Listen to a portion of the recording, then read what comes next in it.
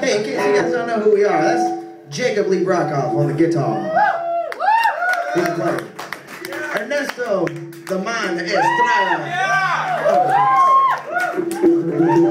I'm Chris Albrecht, I tap on stuff.